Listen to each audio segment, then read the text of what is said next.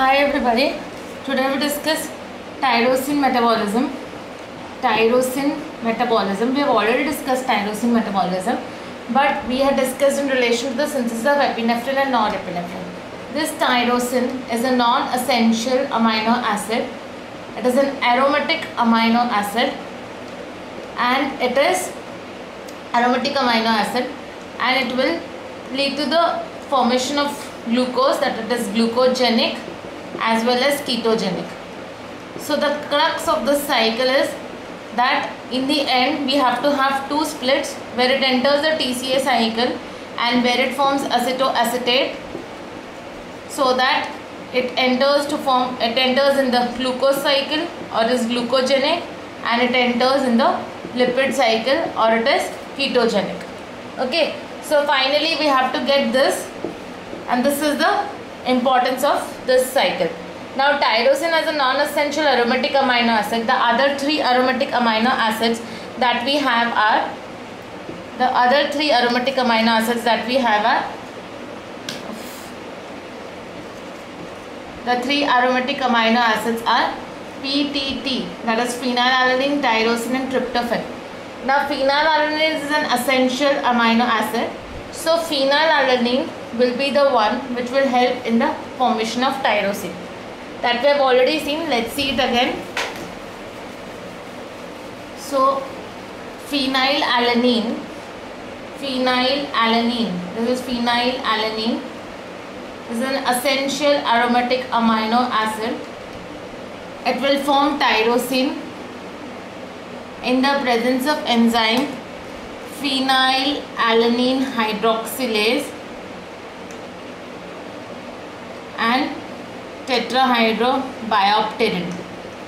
This cycle or this pathway we have already discussed and the deficiency of this enzyme leads to phenylketonuria. So PKU will be caused if there is deficiency of phenylalanine hydroxylase.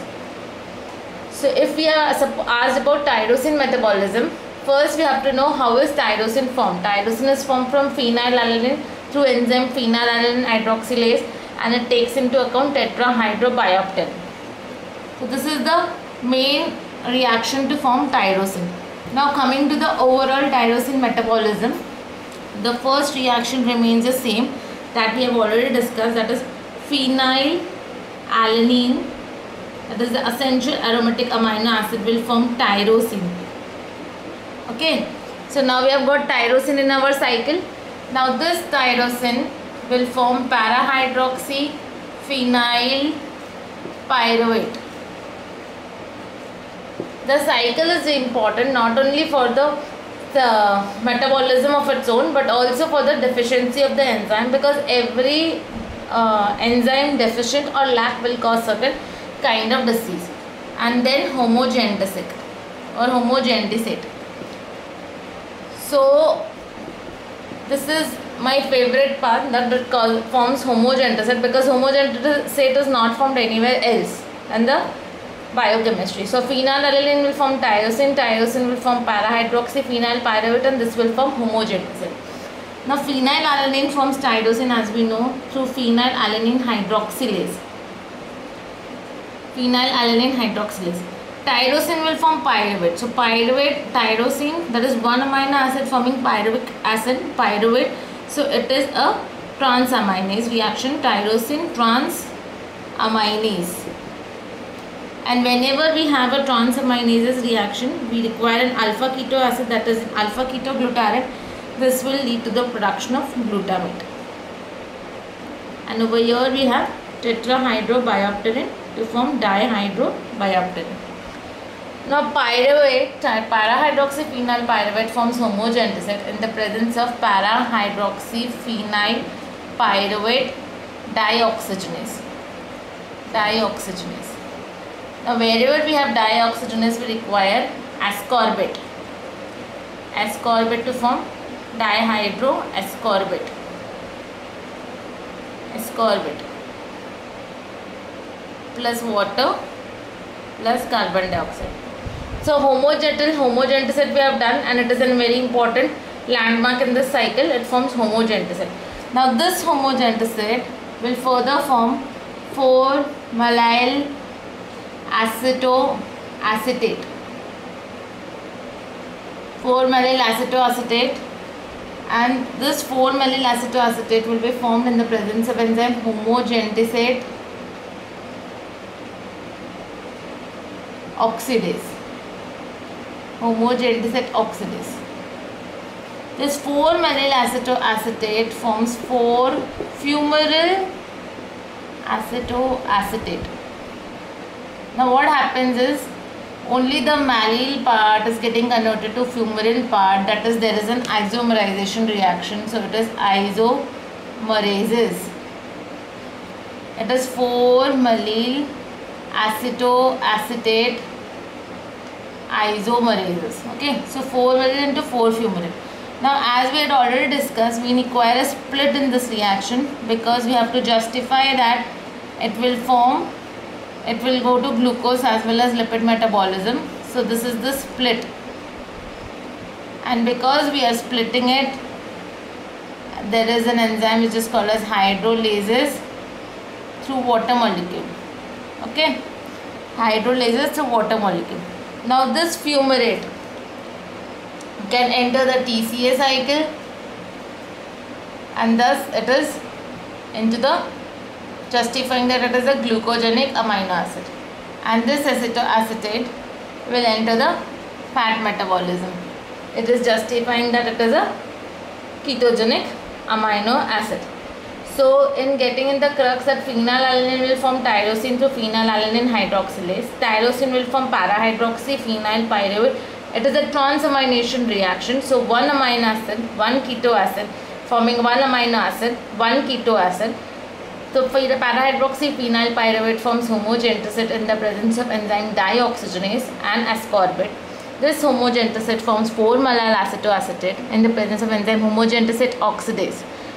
This forms isomerizes to fumaryl acetoacetate which splits into fumarate and acetoacetate fumarate forming into the TCA cycle acetoacetate going into the fat metabolism. So finally this is the small cycle not a very difficult one as is considered to be but now coming to the now coming to the the this cycle is important not only in the basis of short note but also in the basis of clinical cases and also the on the basis of enzymes. Now we know that there is a there is a deficiency of phenylalanine hydroxylase that leads to PKU, phenylketonuria. If there is a deficiency of tyrosine transaminase, it will lead to tyrosinemia type 2. Okay, tyrosinemia type 2. If there is a deficiency of parahydroxyphenyl pyruvate dioxygenase, it will lead to neonatal tyrosinemia neonatal tyrosinemia. Coming to the my favorite one that is homogentisate oxidase. If there is a deficiency of homogentisate oxidase it leads to alkapton urea. Alkaptonuria.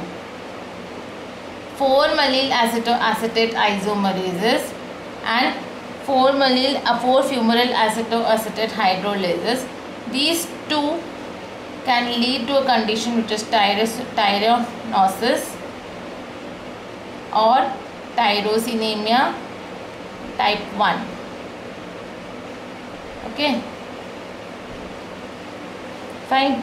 So every enzyme has a disorder. Phenylalanine hydroxylase deficiency lead to phenylketonuria the catch over here is that the type 2 comes first. So tyrosine transaminase deficiency will cause tyrosinemia type 2 Para-hydroxyphenyl dioxygenase will cause neonatal tyrosinemia. Homogentisate oxidase deficiency will cause alkaptonuria.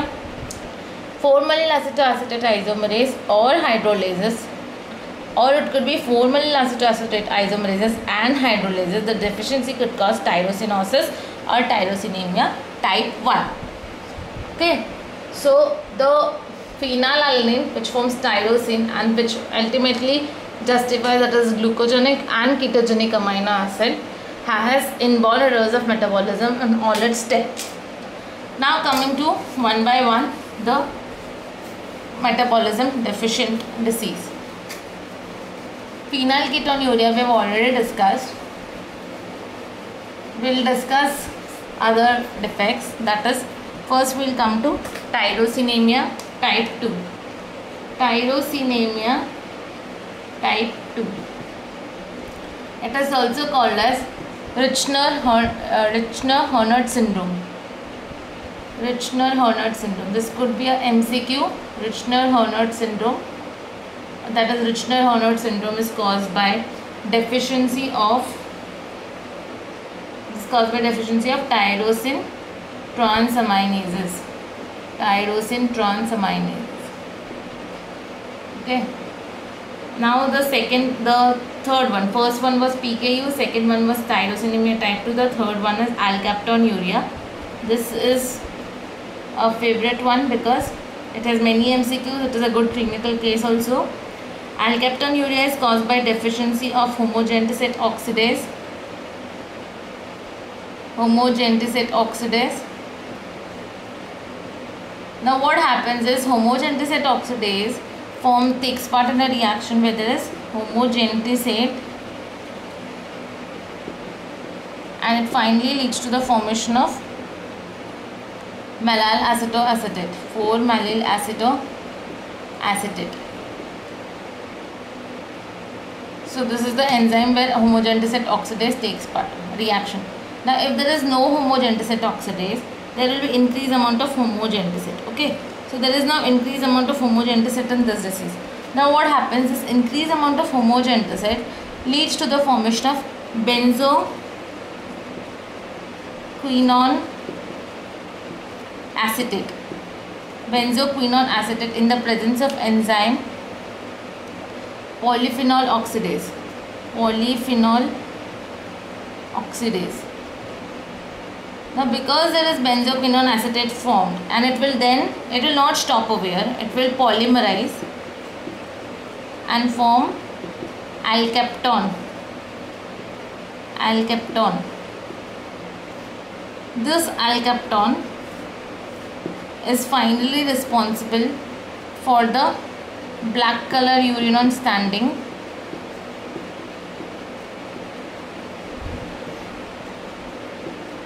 and this is called as ochronosis ochronosis so the one thing is that it causes ochronosis the, that is the black color urine on standing. The second thing is that it will lead to the deposition of black color pigments also on the vertebra. So deficiency of homogentisate oxidase that is increased homo homogentisate will form benzoquinone acetate in the presence of polyphenol oxidase. This polymerizes to form alkapton and forms black color urine on standing. This is alkaptonuria and this alkaptonuria now you know how the biochemistry of alkaptonuria is. Now how will you test it? To test alkaptonuria there are two tests that is ferric chloride test FeCl3 and then there is AgNO 3 tests. Surprisingly, Benedict's test is also given positive. Now you will say that the Benedict's test is for the determination of reducing sugar. But actually, Benedict's test is not for reducing sugar, but it is for reducing substance. So it is for reducing substance. Therefore, Benedict's test will also be given positive. Now it is a autosomal recessive disease. It is an autosomal recessive disease. And as we had already told, as I had already told that the ochronosis which we have seen black color urine on standing but also we can see ochronotic arthritis that is small joints of ochronotic arthritis ochronotic arthritis. That is small joints are involved Small joints of hand and feet are spared. Small joints of hand and feet are spared. Small joints of hand and feet are spared. They are spared. Okay.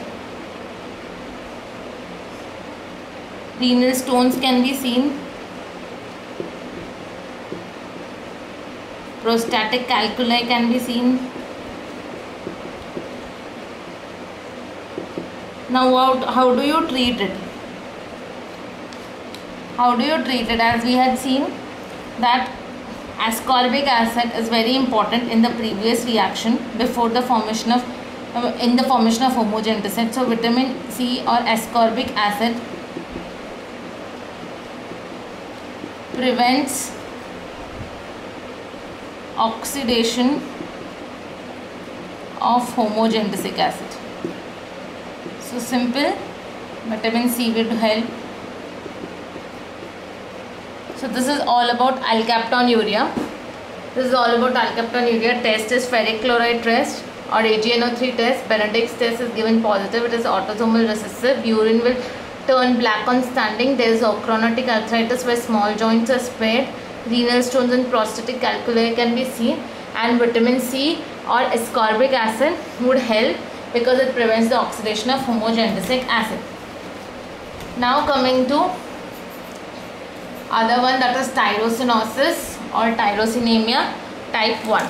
Tyro tyrosinosis or tyrosinemia type 1. Tyrosinosis or tyrosinemia type 1 now it will lead to uh, the this the de deficiency is of two enzymes that is uh, I, this 4 mallyl acetoacetate isomerases or it could be it could be or or and it could be 4 fumarate acetoacetate hydrolases okay. Now the clinical features are it can cause liver failure rickets renal tubular dysfunction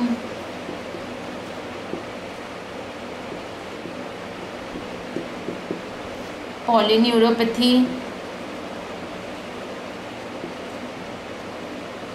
diarrhea vomiting and the MCQ point of view it is cabbage like odor. Cabbage like odor. Sometimes it could be asked MCQ cabbage like odor. Okay. Treatment.